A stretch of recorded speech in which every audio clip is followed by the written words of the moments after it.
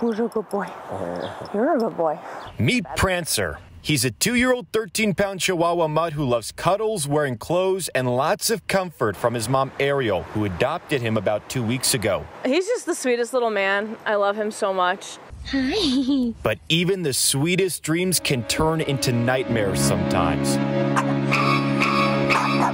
Just ask the foster mom who was taking care of Prancer before Ariel and wrote this six paragraph plea on Facebook to get him adopted. Some of that reading, I have to believe there's someone out there for Prancer because I am tired and so is my family. Every day we live in the grips of the demonic Chihuahua hellscape he has created in our home. The digital world instantly captivated by the pooch, also described as a haunted Victorian child in the body of a small dog.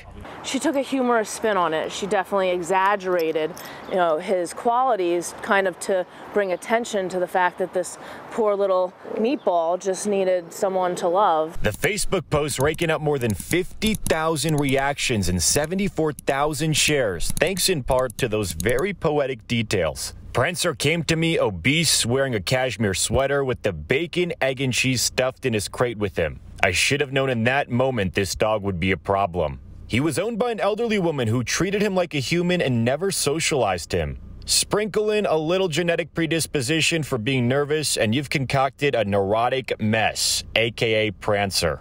Uh, ran across the article, and I normally don't take things on Facebook too terribly seriously, but I read the article and it really touched me.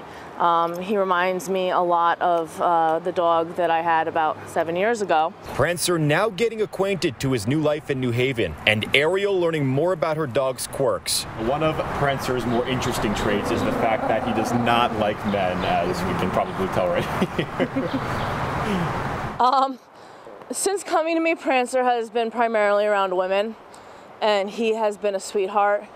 There has been one or two situations where he's encountered men, and uh, it's a little spot on.